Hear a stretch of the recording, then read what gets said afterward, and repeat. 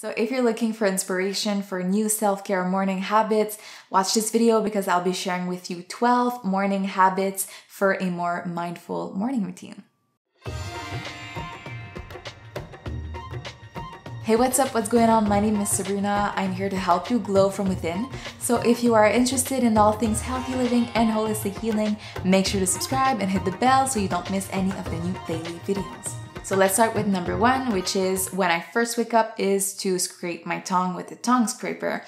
This is an Ayurvedic practice that helps to detoxify the body right you know, off the bat, right to start your morning, you literally just scrape off all of the toxins that have accumulated throughout the night uh, from your digestive system. So, literally, you're going to have a white coating which is pretty much disgusting at first when you start doing it. So with the tongue scraper first thing in the morning, you will be able to get rid of any toxins right when you start the day on a fresh start. And yeah, before even drinking water, like literally, this is my first thing that I do. Because just quickly, I talk about this in my uh, video 15 ways to detoxify your body every day.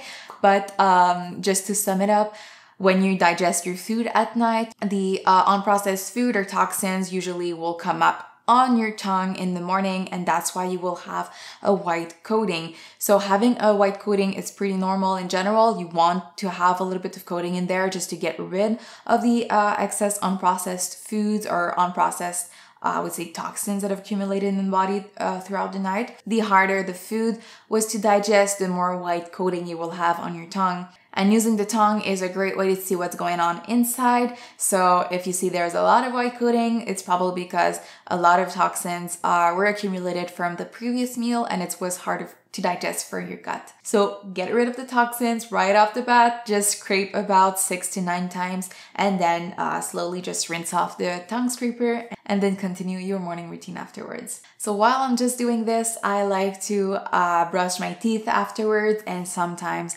even do oil pulling, which is to swish some coconut oil for about five to 20 minutes in my mouth but um, honestly, I'm just really way too lazy to do this every day, so I'll just, you know, skip it most of the time. So number two is to have my warm beverage in the morning, and this will really depend on the seasons and how I'm feeling. But uh, right now it is summer, so I'm having about two glasses of room temperature water and then I have my cappuccino. And even though coffee is not that, you know, considered good for the body in Ayurveda, I don't mind. I like to have my little cappuccino in the morning and um, I just don't want to restrict myself from anything. I know, you know what coffee does to the body, and I don't mind. I just like to have my little cappuccino in the morning, so that's what I will have. But if I feel like I'm having some digestive issues, some bloating, some gas, or I'm just not feeling well, I will have a ginger tea without any sweeteners in there instead of the coffee. And sometimes when I'm really feeling like it, I will just have some warm water and some lemon, but that just really depends again on the seasons and how I'm feeling. Number three is Abhyanga. Abhyanga is self oil massage in the morning. Uh, it takes me literally five minutes. I just have my little bottle of oil and I massage my body all the way uh, from the toes all the way to the neck. And I don't necessarily massage the whole body. I mostly apply the oil and about once a week I will literally do a massage. So this definitely helps with nourishing your nervous system, grounding your body, helps your skin glow from within. It helps to uh, nourish the joints, the muscles, any body aches and it helps uh, if you're working a lot on your on your computer and stressing out a lot on social media and there's a lot of depletion and exhaustion that happens in the body and mind. So by doing abhyanga every day helps really to start your day in a calm centered uh, state of mind. So that's what i like to do. It literally takes five minutes and if i'm really in a rush i will just uh, apply oil to my feet so I like to use, uh, as a good rule of, of thumb, some almond oil or sesame oil. And sometimes I like to treat myself into buying some herbal Abhyanga oil. So these are uh, special Ayurvedic oils that have a lot of herbal supplements in there that will even more nourish your body or whatever imbalances you're trying to treat in there. Uh, it'll definitely help. But if you want to start, you can just have some almond oil or sesame oil. Number four is my meditation. I usually like to meditate at least 10 minutes every day. If I have more time, I will do 20 minutes, even 30 minutes. But um, on a day to day basis, I go for 10 minutes. This is just my um, perfect timing for me just to make sure that I can find this really calming, centered, clear headed space just right before I start my day. And by doing it in the morning is way easier before you get stuck um, in the mental aspect of your workday. So I definitely try to meditate either with an app or I like to um, just follow my breath because I you know, I've been meditating for a while now, so I can do this on my own, but most of the time I like to do for, I like to go for a guided meditation. Number five is totally optional. I don't do this absolutely every day, but if I feel like I'm really nervous a certain morning, I wake up feeling anxious, pranayama or breath breath practice is a great way to get back into your body and trying to move a little bit more the energy or the life force so i like to um, a simple one that I like to do is to breathe in for five, hold for five, and exhale for seven. So this will really just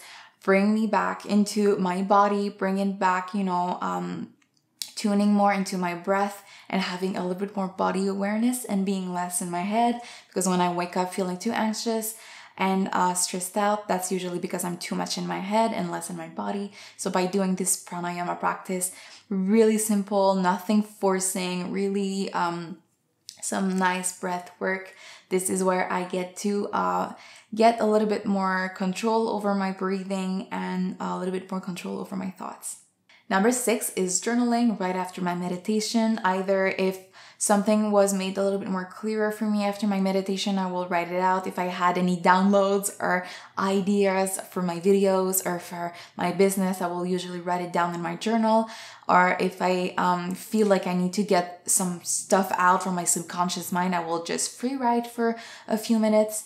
And um, afterwards, I'd like to have just some few um, grateful statements or um, affirmations that I like to write down to get myself in a really good positive mood. Number seven is yoga or stretching. This really depends on the amount of time that I have. I usually will go for 20 minute yoga practice in the morning because that's the amount of time that I have in the morning if I want to make sure to record my daily video and start my workday on time. But uh, I used to practice yoga for hours in the morning. Just just really depends on your lifestyle. So um, I feel like 20 minutes is the perfect amount of time where you actually get a lot of uh, benefits from a yoga practice while stretching your body, getting back into a more grounded space. If you have two minutes to uh, be in Shavasana or corpse pose, this is a really good way to start your day as well. Number eight is I already prepare my office with some incense. I like to put on some healing drumming sounds or healing frequencies. Um, this usually just puts on the mood and, you know, helps with just clearing the vibe from the last day of work.